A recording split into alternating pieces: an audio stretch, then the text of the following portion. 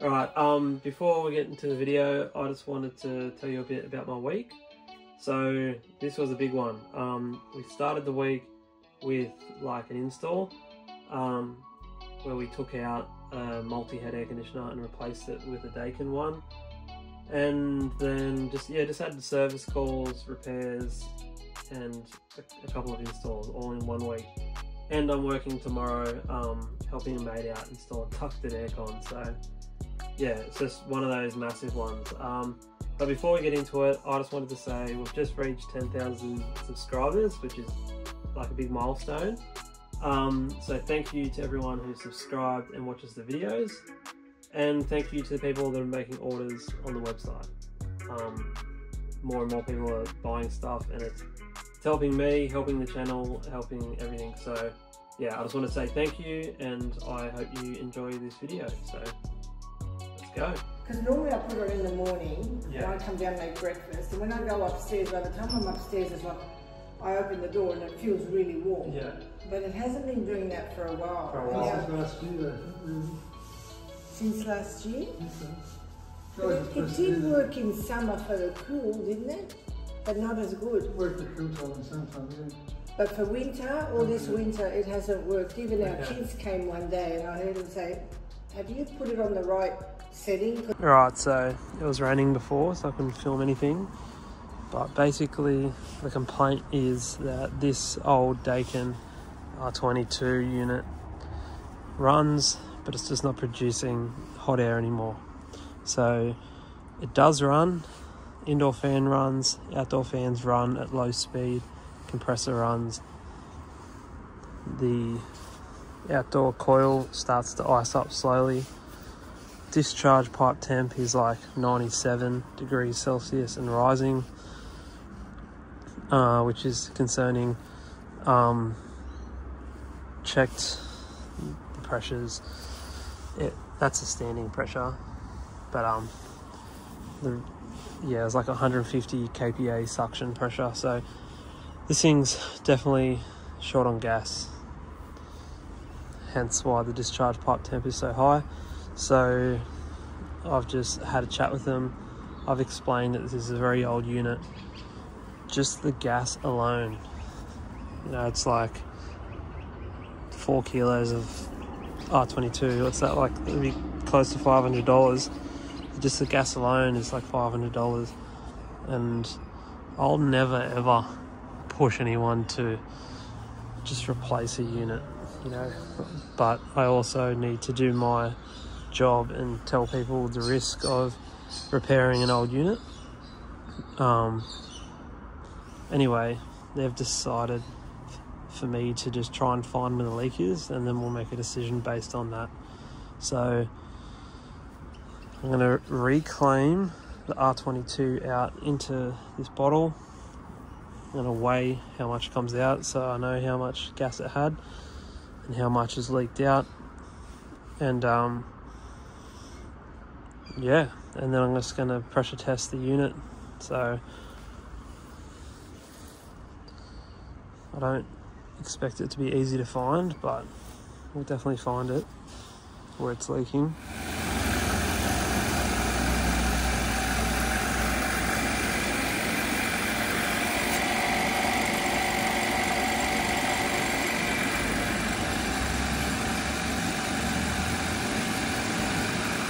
Alright, so reclaimed it, and that thing had 980 grams in it when it should have 3.7 kilos. So it was pretty short.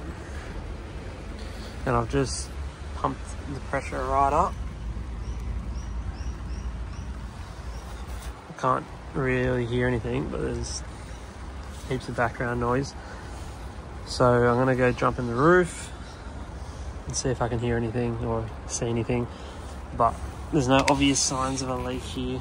Everything looks good.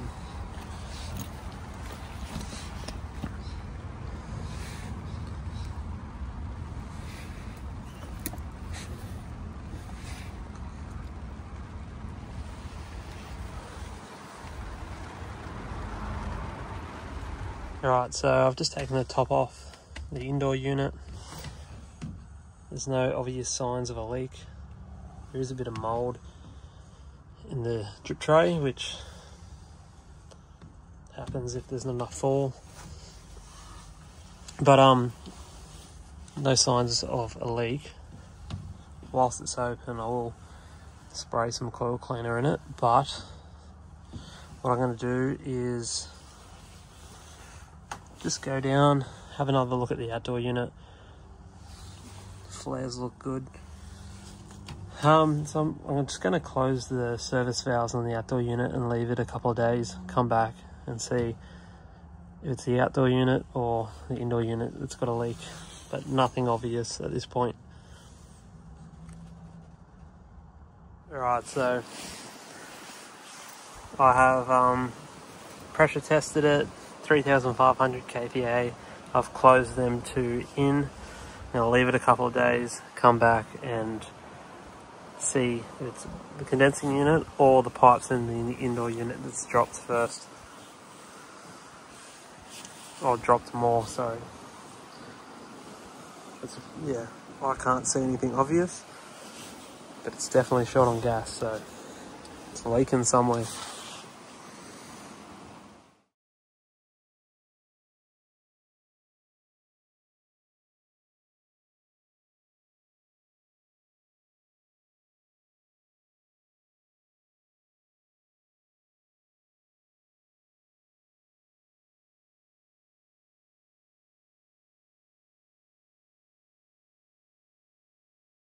Alright, so it's been a couple of days. Um, I've just come back and open it up, put my gauges on and see what the pressures are doing. See if it's leaked. Or should I say, let's see where it has leaked.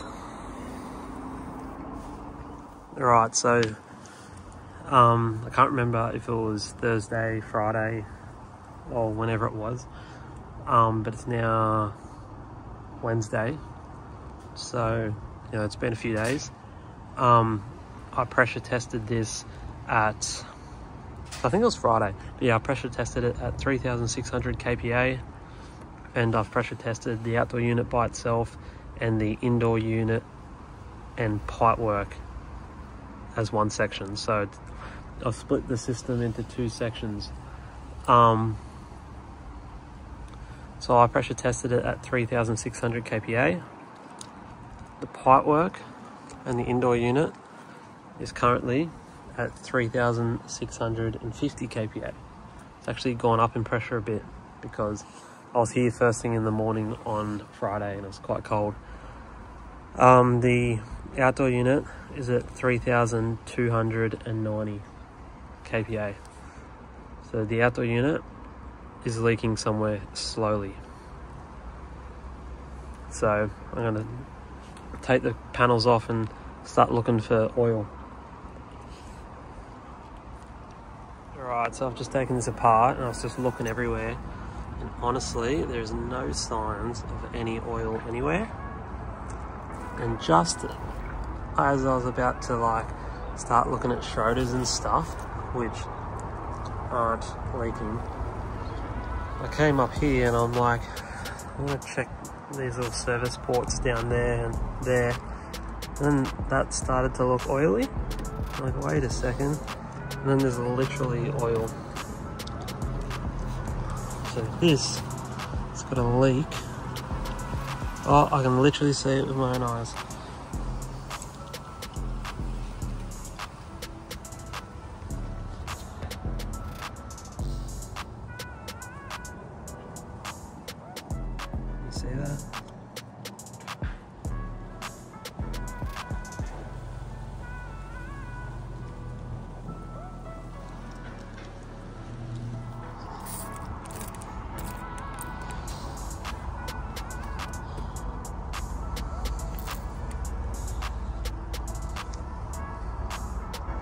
This thing has definitely been repaired before.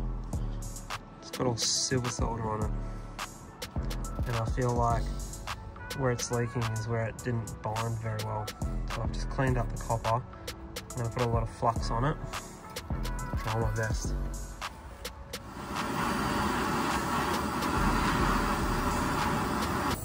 Alright, so gonna pump it back up.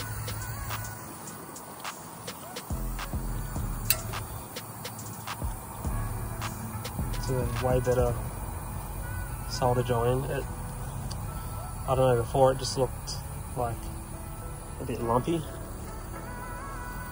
So I cleaned it up, flux, and um,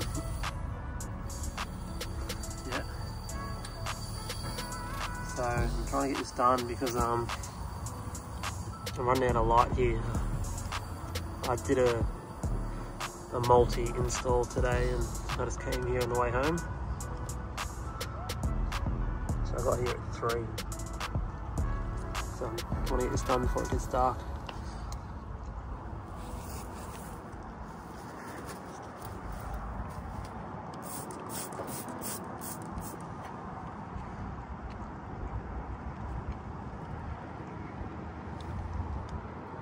That's what we like to see.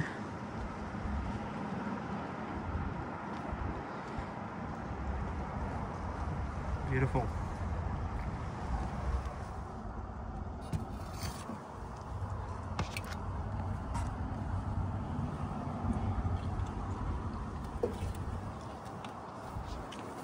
I am um, changing the Schraders and putting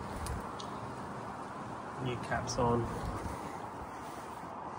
as they are like 20 years old so while there's no gas in it changing the Schraders and caps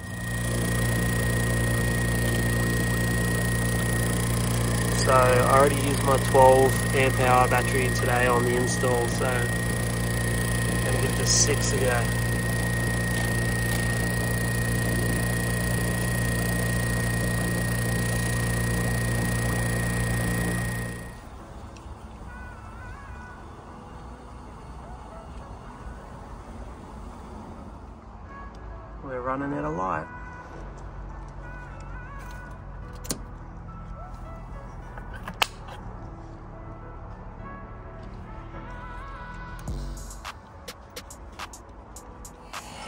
3.7 kilos.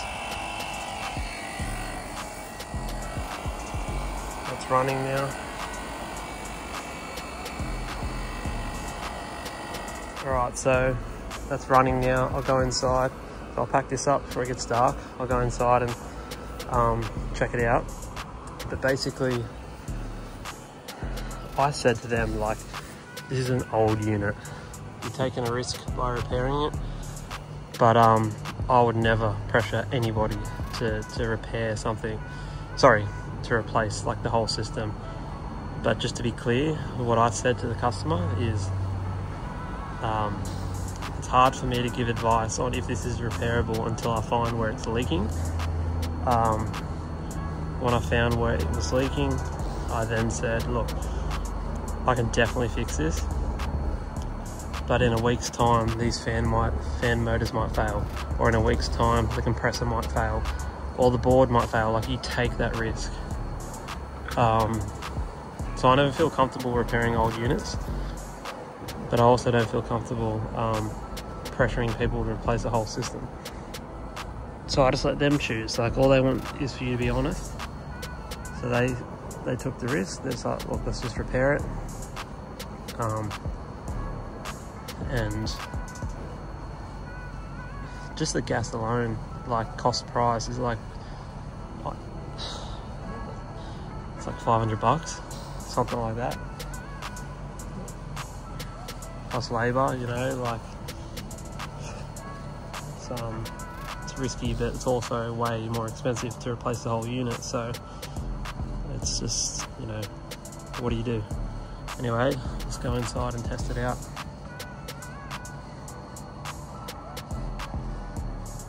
So this thing is running heaps quieter. Heaps quieter.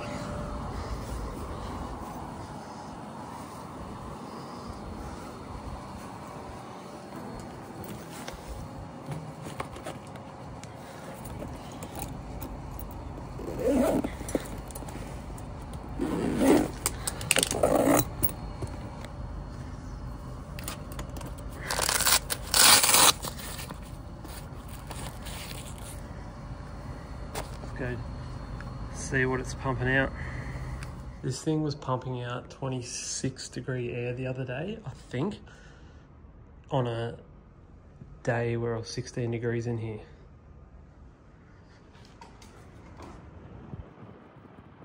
Now it's absolutely pumping